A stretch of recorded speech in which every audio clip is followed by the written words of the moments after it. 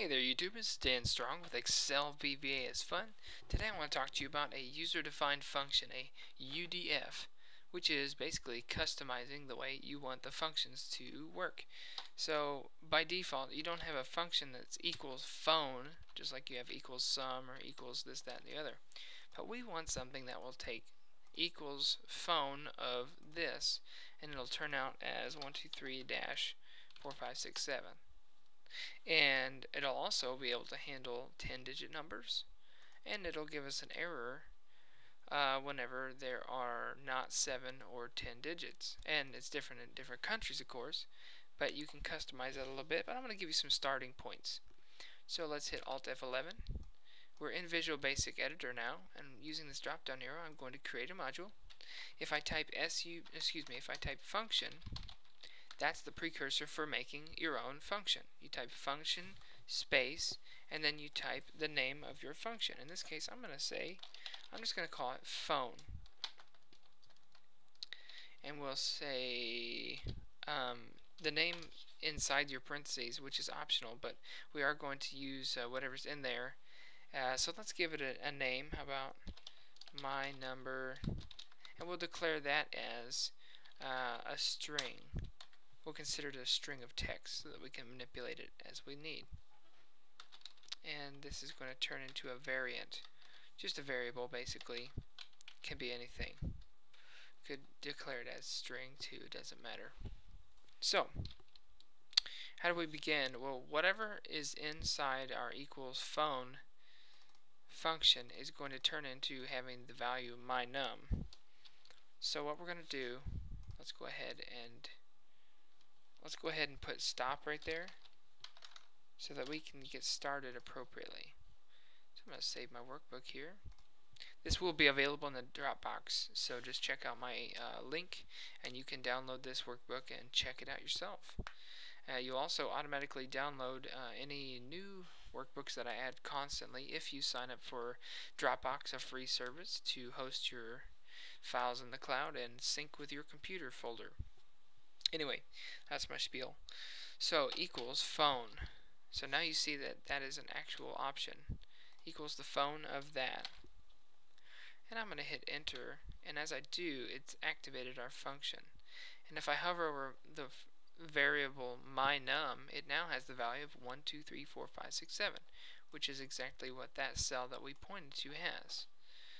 So, let's do some, oops, let's do something with that let's say um, if my num if the, how about if the length of my num is 7 so if it's a 7 digit number then my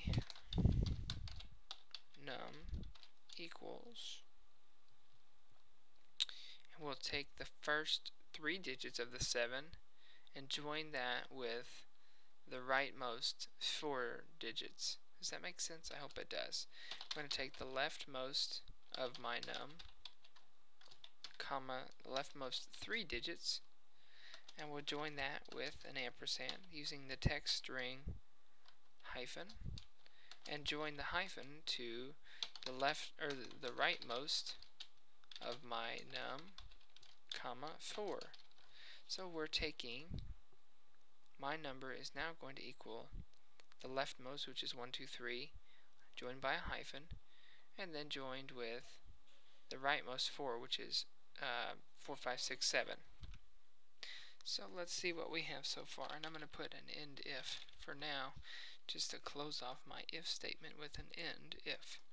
So let's see, I'm going to hit F8, if the length of my number is 7, and it is, so now we'll see what's the left of that. The left 3 and then the right 4 joined by a hyphen. So if I hit F8, 1, 2, 3, 4 hyphen 4, 5, 6, 7. And now let's do an else if if the length of my number is 10 then we do it a little differently. Then we would say my number is going to be equal to uh, we'll probably put a beginning parentheses. You don't have to do that. It's, it's a preference thing. Beginning parentheses, we'll join that with an ampersand. With the leftmost, again, of my number, the leftmost 3, we'll join that with a closing parentheses and a space. We're going to join that with we'll have to use the mid function. So the string that we want to use is my num and the starting point is actually the fourth digit in there because you have the 1, 2, 3 you don't want those and then the length is going to be three digits long then we're going to join that with the oops, the hyphen and finally, the last four. It's going to give me an error, but I'm just going to copy and paste that. So those are our two scenarios. So let's hit uh, F8. Now the final whammy, if you will, is you have to use the name of the function, which is phone in this case. So phone equals, and we're going to have that equal whatever my num ends up being by the end of this thing. Phone equals my num. That's what's going to be in the cell. Let's take a look.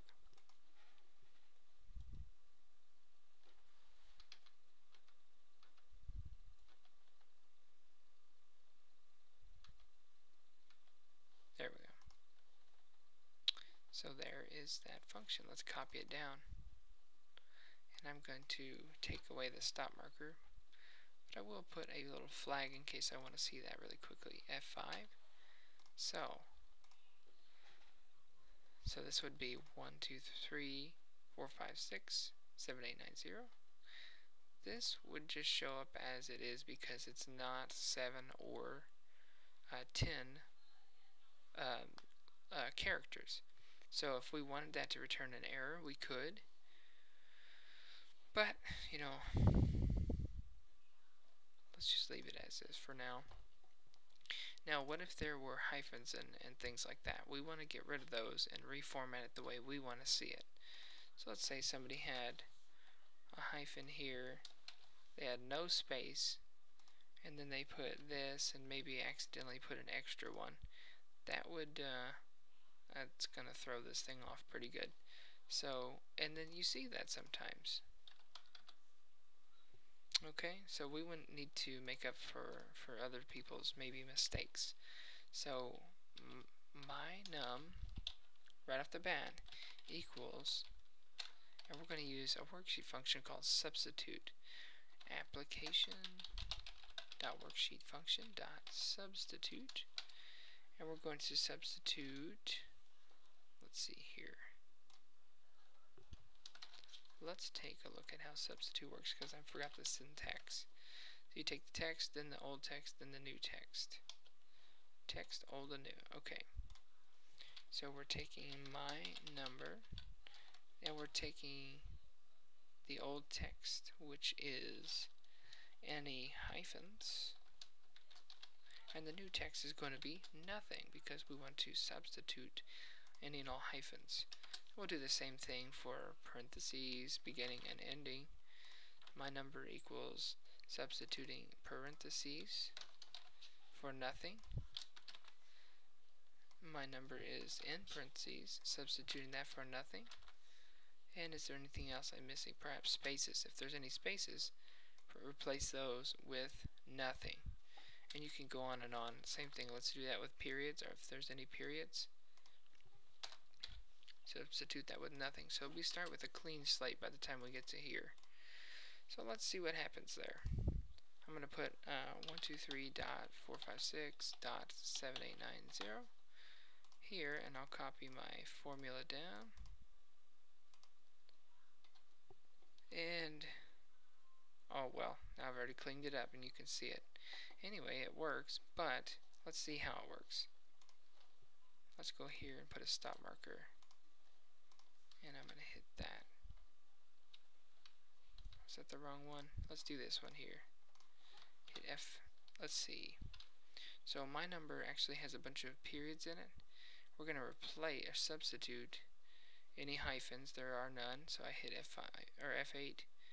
Uh, substituting parentheses, there are none. None. Any spaces? None. But here's where you see the periods are going to disappear. If I hit F8, they substitute the periods for nothing. So let's hit F8. And there you go, you start with a clean slate, and it does the 7 or 10 digit thing. This is a 10 digit one now that is cleaned up. And put the parentheses and the space and the hyphen and all that stuff in there. And then phone equals, bam, now it is in the cell. So you can have all kinds of weird space, space, space, dot, dot, dot, hyphen, parentheses, hyphen, 5 hyphen 6 period for five, six, seven.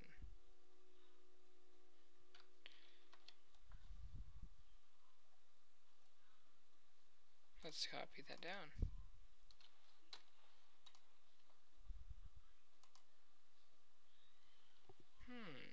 Multiple instance. Let's see here.